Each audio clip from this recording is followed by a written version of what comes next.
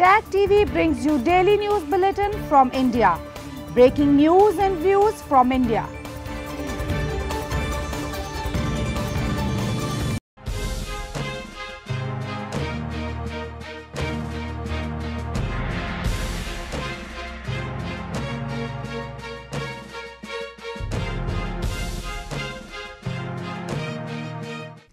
Good evening. Welcome to South Asia Newsline. I'm Lepakshi Khurana. Here are the top stories we're tracking for you on Tuesday, the 31st of May.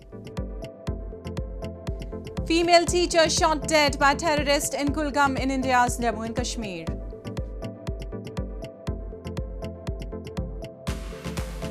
Nepal recovers bodies of all 22 victims of plane crash. Voice recorder found. And Sri Lankan woman rickshaw driver struggles amid economic crisis, fuel shortage. And now for all the details, Indian Prime Minister Narendra Modi held a roadshow and a massive rally in poll-bound Himachal Pradesh state on Tuesday to mark eight years of his BJP-led government at the centre. In his remarks, the PM said India has seen a sea change under the BJP with zero tolerance towards corruption and the country's borders now more secure than they were before 2014. He said his government is working to build a new India, not a vote bank.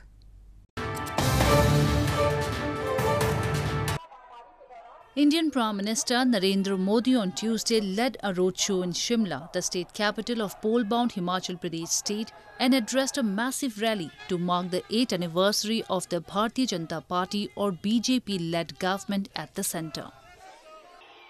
The Prime Minister also interacted virtually with beneficiaries of various central schemes and said corruption was viewed as an essential part of the system before 2014. But now India has seen a sea of change under the BJP, with development a top priority.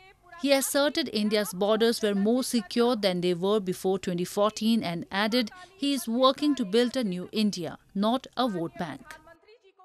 गरीबों के हक का पैसा सीधा उनके खाते में पहुंचने की बात होती है आज चर्चा होती है दुनिया में भारत के स्टार्टअप की आज चर्चा होती है वर्ल्ड बैंक भी चर्चा करता है भारत के ईज ऑफ़ डूइंग बिज़नेस की आज हिंदुस्तान के निर्दोष नागरिक चर्चा करती है अपराधियों पर नकेल कसने की हमारी ताकत की PM Modi further said that there has been a dramatic shift in India's foreign policy since his government took over. He said that India is no longer helpless and does not have to befriend any nation in compulsion.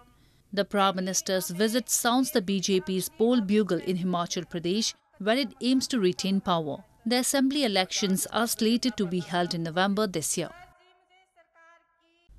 A school teacher in Kulgam district of India's northern Jammu and Kashmir territory was shot dead inside her school on Tuesday in yet another incident of targeted attacks on minorities. The police said the terrorist involved in this crime would be soon identified and neutralized. This comes weeks after a Kashmiri Pandit government employee was shot dead inside his office. In yet another incident of targeted attacks on minorities, a Hindu female school teacher, Rajni Bala, was killed on Tuesday after terrorists fired upon her in Kulgam district of India's northern Jammu and Kashmir territory. According to police, the incident took place at High School Gopalpura area, where 36-year-old Rajni received critical gunshot injuries. She was immediately rushed to a hospital but succumbed to her injuries. The police have said terrorists involved in this gruesome terror crime would be soon identified and neutralized. बहुत innocent लड़की थी teacher मुसलमान लड़की जैसे दुपट्टा पहनती थी और जाती थी स्कूल गोपालपुर में उसकी ड्यूटी थी और उसका हस्बैंड भी बहुत स्मार्ट था शरीफ था किसे कोई बात नहीं कोई बिल्कुल किसे कोई ताल्लुक नहीं था Meanwhile, Kashmiri Pandits on Tuesday hit the streets in protest in Srinagar city to protest the female teacher's killing which was followed by another targeted killing of Rahul Bhatt, a Kashmiri Pandit government employee, earlier this month. The demonstrators, mainly migrant government employees, called for security for the tiny Hindu minority in the region and demanded relocation. Earlier on Tuesday, two terrorists were also killed in an encounter with security forces in Jammu and Kashmir's Avantipura. The upsurge in violence comes as the federal government is also planning Kashmir's biggest annual Hindu pilgrimage to the Amarnath Cave Shrine starting June 30. And Nepali search and rescue teams on Tuesday recovered the body of the last of 22 people aboard the de Havilland Canada DHC 6300 Twin Otter aircraft that crashed in the Himalayas on Sunday and also found the flight's voice recorder. Two Germans, four Indians and 16 Nepalese were on the aircraft that crashed 15 minutes after taking off from the tourist town of Pokhara, 125 kilometers west of Kathmandu on Sunday morning. A spokesperson for the Civil Aviation Authority of Nepal said the plane had only the voice recorder to preserve ground-to-air and air-to-air conversations. The 12 bodies were being brought to Kathmandu on Tuesday after the first 10 bodies recovered were brought to the capital a day earlier. Authorities said the bodies will be released to the families following an autopsy and identification. The Nepali government has set up a five-member panel to determine the cause of the crash and suggest preventive measures for the aviation sector.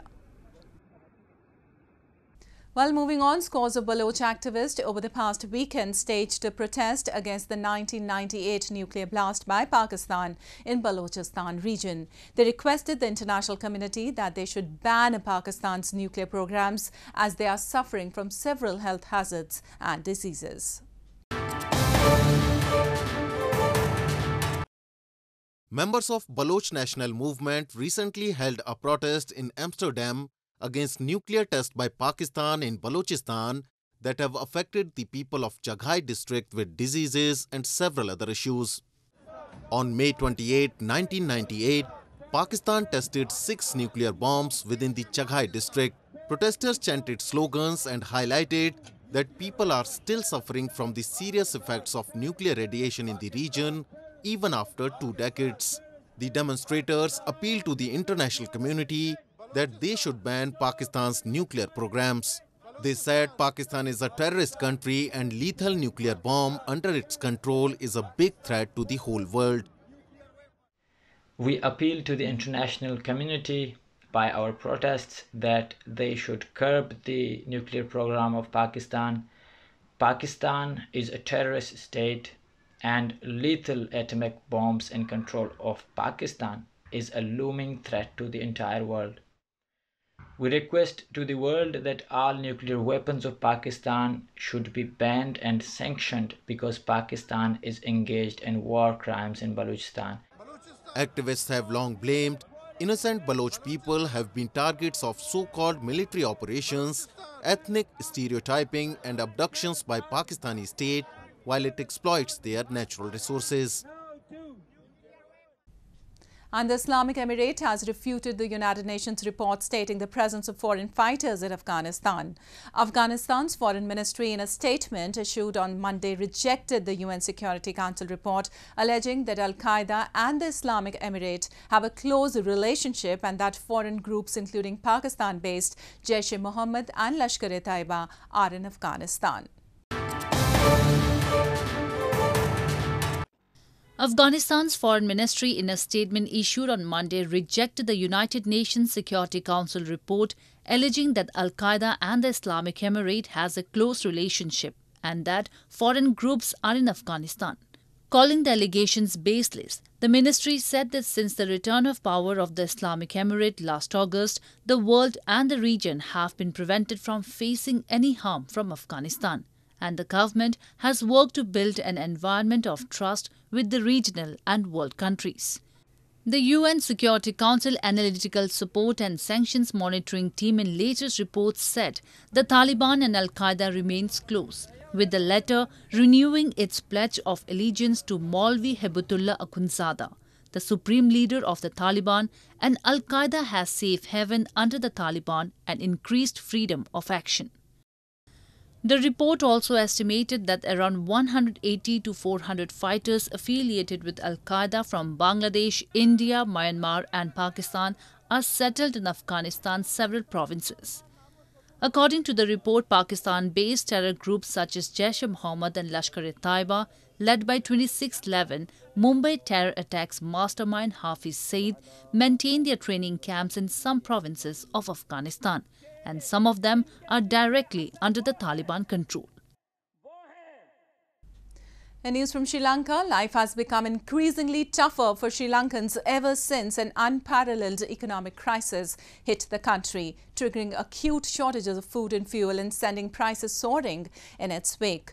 Lasanda Deepti, a female auto rickshaw driver, says a monthly income has fallen nearly 50% because of the combined effects of lost time, currency depreciation and soaring prices. Lasanda Deepti, a 43-year-old female tuk-tuk or auto rickshaw driver who lives in a small two-bedroom rented house in Sri Lankan town of Gonapola, plans her day around fuel queues. Deepti is one of millions of people in Sri Lanka battling galloping inflation, falling incomes and shortages of everything from fuel to medicine as the country reels under its worst economic crisis. A woman auto rickshaw driver is a rare sight on the island of 22 million people, but it is a job Deepti has done for seven years to support her family of five. Since the financial crisis hit, she has been scrambling to find adequate petrol and earn enough as rights dwindled due to inflation. Her monthly income of about $138 started falling from January and is now less than half of what she used to earn. මේකත් එක්ක ගොඩක් වෙලාවට පෝලිමට වැඩිපුර වෙලාවක් යොදවලා තියෙන දවසේ ගොඩක් කලින් නැගිටලා ගෙදර වැඩ ටික ඔක්කොම ඉවර කරලා ඊට පස්සේ මේ පෝලිම යනවා පෝලිමට රෑ ආවොත් රෑට නිදා ගන්න වෙන්නේ මේකේ තමයි ටුක් එක ඇතුලේ තමයි නිදාගන්නේ අපි. එලා මේ පෝලිමේ ඉඳලා තමයි වැඩ ගන්නේ. එතකොට අපි ඒක බැලන්ස් කරන්න පැය ගාන වැඩිපුර දීලා තියෙන්නේ queue එකට තමයි. In mid-May, Deepti said, assisted by her brothers, she spent two and a half days in a queue for petrol, prices of which have soared 259% since October 2021 as the government slashed subsidies to try and stabilize a teetering economy. Her only wish and hope is for the current crisis to end and for a sunny picture to return again to her beloved country. Meanwhile, reports suggested the World Bank has pledged to disburse nearly 700 million US dollars to Sri Lanka within the next few months during talks between World Bank official Chiyo Kanda and Sri Lankan Foreign Affairs Minister G.L. Peiris in Colombo on Monday. This comes as the island nation is also engaged in negotiations with the International Monetary Fund for a badly needed loan package. And moving on, famous Punjabi singer turned politician Sidhu Moosewala, who was shot dead in a suspected inter-gang rivalry on Sunday, was cremated in his native village in India's Punjab state on Tuesday.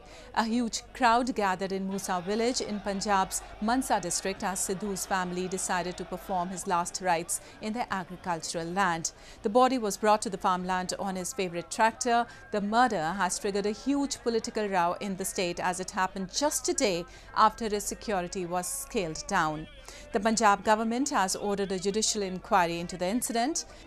28-year-old Sidhu's death is being mourned across India and Canada where he had gone as a student. He won the Best Lyricist Award at the Brit Asia TV Music Awards in 2017 for his rap song So High. He had made his political debut in 2021 when he joined Congress, which is the main opposition party in India. And the annual Mango Fair in India's southern Bengaluru city has returned after two-year COVID-imposed gap. Currently underway at Lal Bagh Botanical Garden, the festival promises everything the residents have been missing and is attracting mango lovers and locals in and around the city. After a two-year hiatus due to the COVID-19 pandemic, the annual Mango Fair aimed at promoting different varieties of the popular fruit is being organized in India's southern Karnataka state. Mango lovers and locals from in and around Bengaluru city were seen attending the festival at Lalbagh Botanical Garden that was inaugurated last week and will continue till June 13.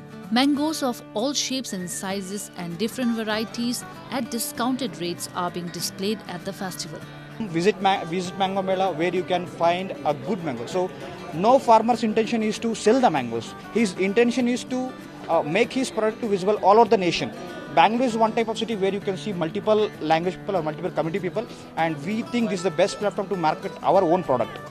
The festival provides a platform for farmers to sell their produce directly to consumers. and for visitors to get naturally ripened fruits. Yeah, feeling good that it has come back and uh, there are a lot of varieties of mangoes here. So we are trying one by one. Like we are confused what which one to buy because so many varieties are there. India's mango pulp market caters to some of the world's biggest food and beverage players, including PepsiCo, Coca-Cola and Unilever. Well, that's all we have for you from South Asia this evening. Now, our viewers can watch the show on SouthAsiaNewsline.com. You can also visit us on Facebook.com slash SAsiaNewsline and follow us on Twitter at SAsiaNewsline. That's all in tonight's edition. We'll see you same time tomorrow. Good night.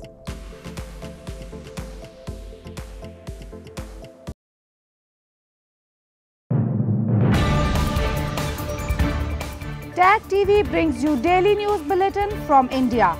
Breaking news and views from India.